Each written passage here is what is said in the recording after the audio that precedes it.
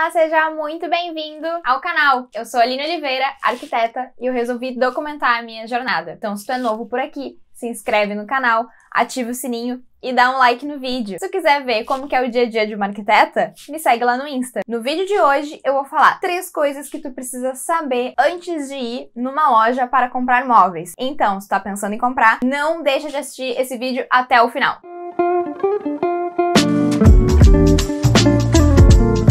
A primeira coisa que é essencial é faça uma lista. Saiba o que tu vai comprar. E o que acontece? Tu vai na loja, aí tu quer comprar um sofá, mas aí tu acaba achando bonito uma mesa de canto, entendeu? Daí tu acha outra bonita, uma outra poltrona. Aí a pessoa se empolga, entendeu? A pessoa se empolga, porque quando ela vai comprar o mobiliário, ou ela está indo para um lugar novo, então ela já está muito animada com esse novo espaço, ou ela está renovando o espaço que ela já tem. Então, independente desses casos, a empolgação e a ansiedade do leigo? A ansiedade do leigo, ela realmente existe. Ela está sempre presente. Então, assim, a primeira coisa é faça uma lista. Anote o que de fato tu precisa comprar minimamente para ter naquele espaço. E disso a gente vai para o item número 2, que esse aqui, nossa, esse item aqui é essencial. Aqui é onde a maioria de vocês fazem erros, que é não medir o espaço. Então, a segunda coisa é meça o teu espaço. Se for, por exemplo, um escritório, uma sala, independente do que seja, peça,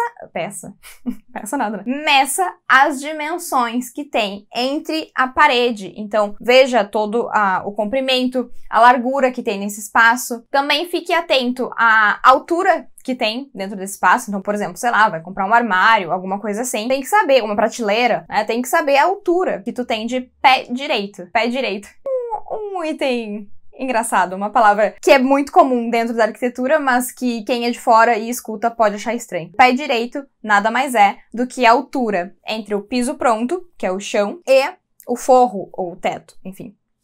De um ambiente. Pontos muito importantes para prestar atenção. Se atente, por exemplo, se nesse espaço tem alguma janela ou porta, então tire dimensões que também são importantes, além da distância das paredes ou então do pé direito se tiver uma janela, presta atenção para fazer a medida do parapeito, por exemplo, que é do piso, né, do chão, até o começo da janela. Então, para saber o quanto que tem de altura desse espaço. Além disso, outra coisa que deve se levar em consideração é se há existência de portas. Então, também tem que cuidar o tamanho desses elementos que compõem o espaço. O que, que acontece? O maior erro, na verdade, das pessoas que tentam compor sozinhas os seus espaços, elas sempre pecam em uma coisa. Um erro que é claro clássico é não cuidar da circulação. Então, assim, um espaço, ele também é feito do vazio. O vazio também é importante. O vazio também faz parte da composição de um ambiente. Então, assim, se tu vai colocar um, um sofá, por exemplo, numa sala, não precisa atrolhar a sala com